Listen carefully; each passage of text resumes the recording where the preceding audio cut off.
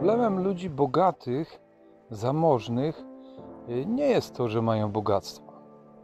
Pracowali na to, y, ciężko się dorabiali, y, łączyli czas na, poświęcony na, dla rodziny z, z pracą.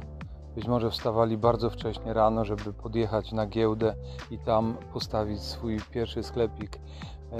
Nie, nie o to chodzi, że są, mają dobra materialne, tacy ludzie bogaci.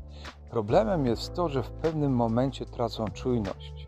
To znaczy tracą y, taki zmysł, y, który y, polega na tym, że stają się lekkomyślni, czyli lekko myślą o swojej przyszłości w kontekście zabezpieczenia materialnego.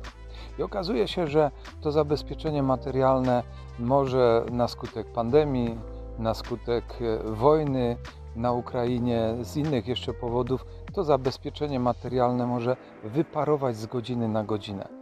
Natomiast e, jedyną rzeczą, która nie wyparuje w momencie, kiedy przeżywamy zewnętrzne trudności, jest nasza trwała relacja z Panem Bogiem, czyli zbudowanie naszego domu na bardzo mocnych, trwałych fundamentach.